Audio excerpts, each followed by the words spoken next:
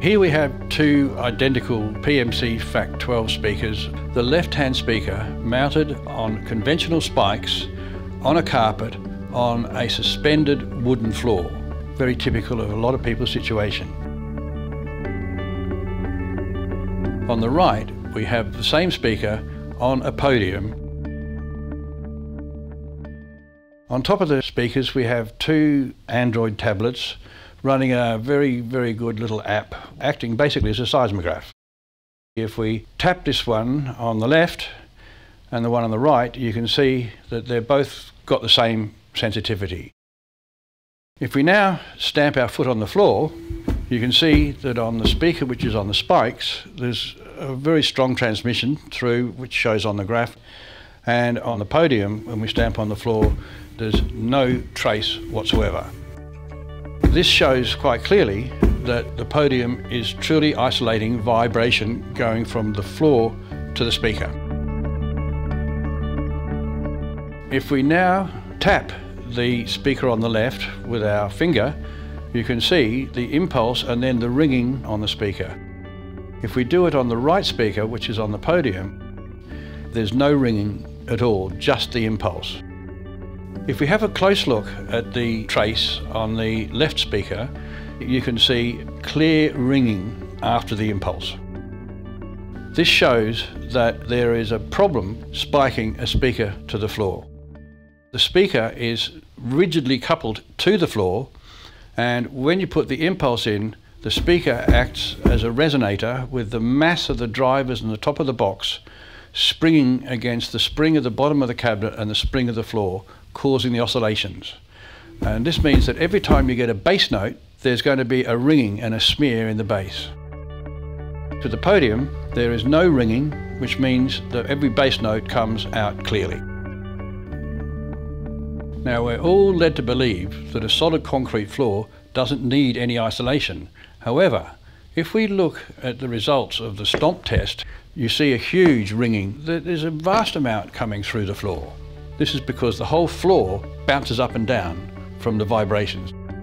And you can see that there's not an awful lot of difference from a suspended wooden floor other than the ringing as at a higher frequency on the concrete, which shows there's a higher Q in the concrete. With the speaker on the podium, with the same stomp, there is nothing getting through. Isolation is virtually mandatory for every speaker, regardless of the floor.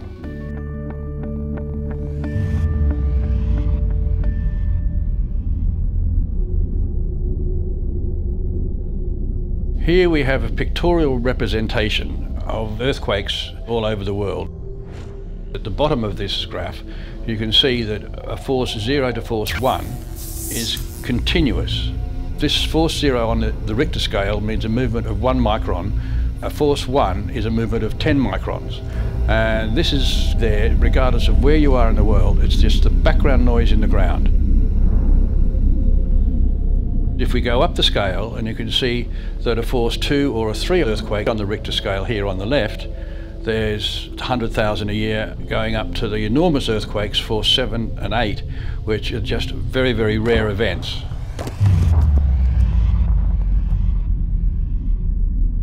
The background murmur of the earth, which is 1 to 10 microns, is in the earth constantly the vibration in the earth transmits through your foundations, up through into the floor of your room, through the spikes, into your speaker, causing the whole cabinet to vibrate with this background noise in the earth.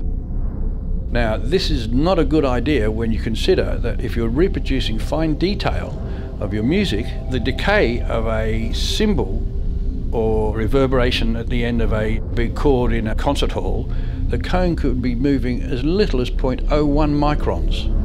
So you, here you are swamping the speaker with 100 to 1,000 times the vibration of the cone, uh, which is easily swamping your music. When you put it on the podium, all of the background vibration in the ground is eliminated from the cabinet, allowing the fine detail of your music to come through unimpeded.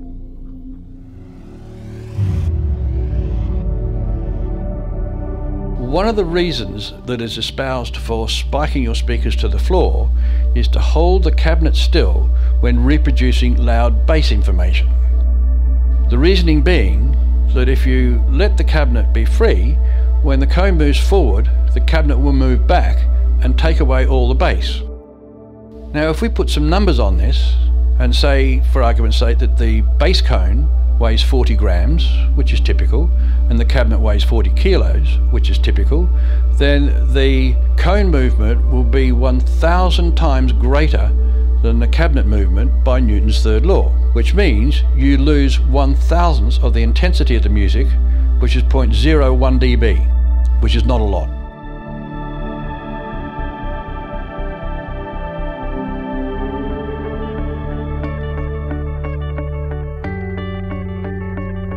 See here we have both speakers spiked to the floor.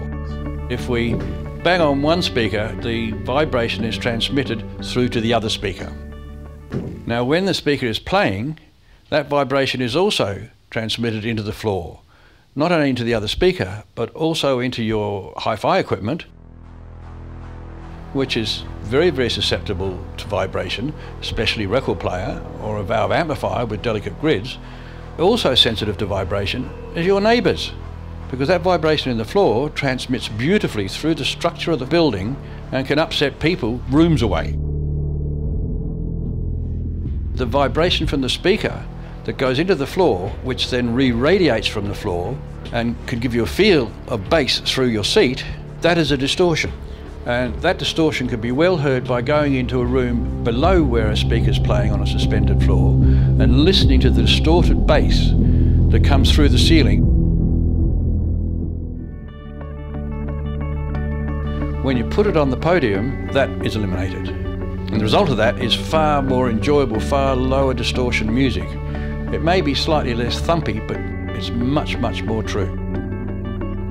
Very neighbour friendly, and it doesn't interfere with the rest of your hi-fi.